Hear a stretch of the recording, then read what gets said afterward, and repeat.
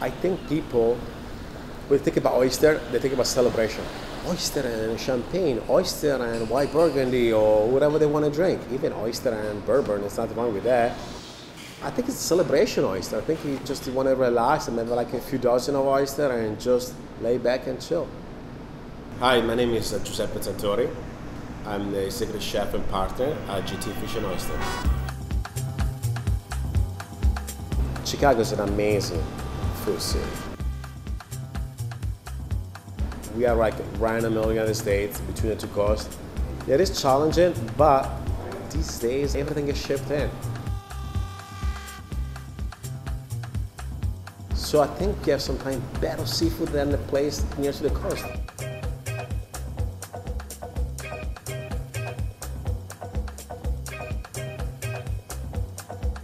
It's a very casual restaurant, so it's full of energy. You have TV, you have beer on tap.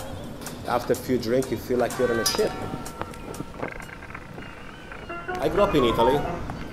Italy is like a small little country, but every small uh, little town, paese, every little house in this paese, they'll make like the same thing and like in a different way, and they think it's the best way.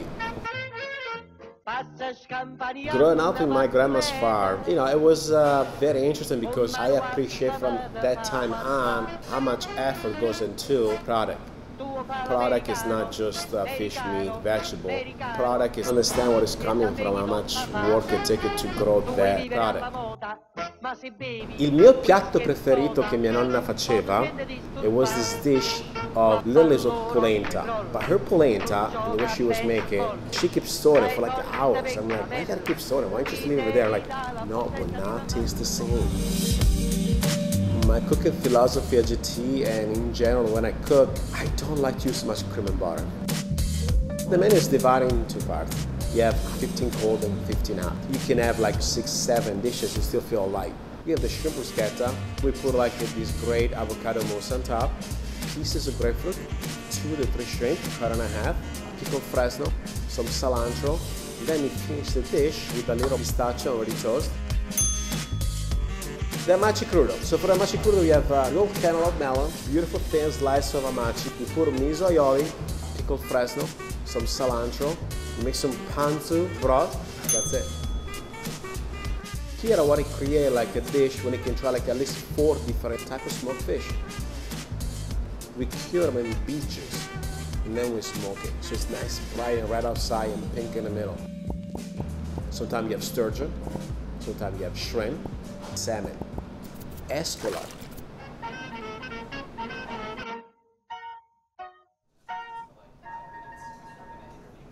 Know, you're supporting farmers. For the most part, shellfishing is a kind of a small time family trade. In a lot of restaurants, they have a sommelier. I think everybody knows these days who it is and what he does. At GT Fish and Oyster, we have uh, oyster sommelier. Okay, so I watched the movie Somm, and then I sort of made a goofy joke. It's like we can all be oyster meliers. Oyster sommelier. His name is Colin. Chef, uh, Because his knowledge and his passion about oyster, chef really liked that term. I never see anybody like him. I've got some family from Wellfleet, Massachusetts, and I originally went out there to help my mom fix up a property. And I sort of fell in love with the place. I just picked it up and, you know, started shucking oysters, and then one thing led to another. Answer a few Craigslist ads, and here you are. So, for example, this is a Totten Inlet oyster. This is a beach raised oyster. You can tell because it has like some barnacles going on. It's a little bit different from like uh, Miyagi, which is raised in what's called a lantern net. It never touches the sea floor, and all these things incorporate into what the oyster ends up tasting like. More than any other food that I've experienced, oysters really absorb the flavors of what's around them. On East Coast, you have much more open ocean salt, and then West Coast has sort of more of like a brininess. You get up further north, you get kind of a different minerality, and as you go further south, they'll tend to be a little bit more mild. Sometimes I'll say like melon or cucumber. really it's just the flavor of the seaweed mixing with the sugar that the oyster's storing so it can survive the winter that makes it sweet like that. Some people like to use cocktail sauce or mignonettes, but if you really want to get like an understanding of what is going on flavor-wise between oysters, you're never going to get it with cocktail sauce. Now we're off on a culinary adventure. We're going to go visit Charlie Trotter's. I came to Chicago when I was about 20 years old. Then in 98, I started working for Charlie Trotter. Uh, Charlie Trotter, I didn't know much about Charlie Trotter. Now, what you have here is in parchment paper wild mushrooms, which have been roasted with baby white asparagus and quail egg and a little bit of truffle oil. So when you open up the parchment paper, you just get this rush of white truffle oil. I did not know what I was getting into in 1998. In my first two, three months, it was like, not pure hell, you know, it was pretty tough. Okay, one more time. One, two, three. Excellent.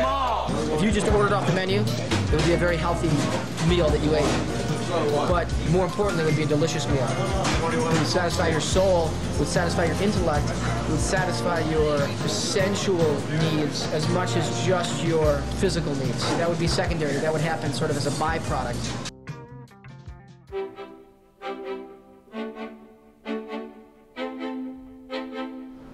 So I was two-year line cook, then I was tournant, then become sous chef, and uh, the last two years chef de cuisine. He was like an intimidated kind of guy, but he wasn't. You almost didn't want to bother him. But he would get so upset if you don't say hi to him. Charlie's line is like, what's up? You know, I never say hi. What kind of generation is that? But I tell all my staff too, like, say hi when you walk in and away. Why you wait like 20 minutes to say hi? Just say hi as a sense of respect. I think Charlie teach everybody how to be a nice human being and how to be a gentleman more than anything.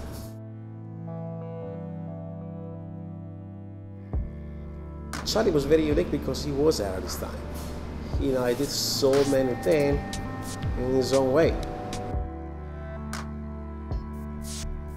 Trotter, you have to see everything. It's not just be in the kitchen and cooking and be focused on one little box. You gotta see like what's around you all the time. I can see what the customer need most of the time before they need it. I can send my guys, you know, take care of them. That's what they learn on a Trotter. That's why I put not Chicago on the map like everybody said. Did a lot of great stuff for Chicago. He did more than put Chicago on the map. He inspired so many people in his restaurant. It's much controversy on that one. What the city can do better in Chicago also in the restaurant scene, everybody should go try new restaurant more often. Like a small little restaurant, mom and pop like the 20, 36 restaurant, go check it out. Don't be afraid of it. Go check this restaurant. The chefs there are so talented.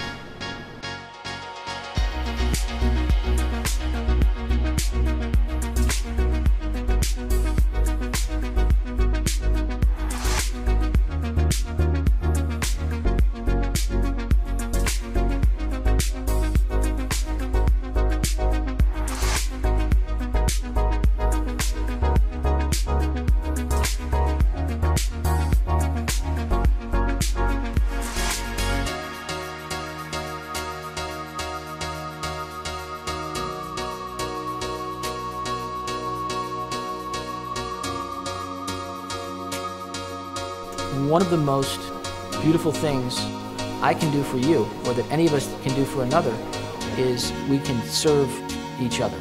It's, it's one of the most human things, it's one of the most basic things. One family member serving another, one friend serving another, but you do that from the heart. You don't do that because you're being ordered to do it or because it's just a job. Uh, you're doing that because you want to do that. You're doing that because you want to connect with somebody.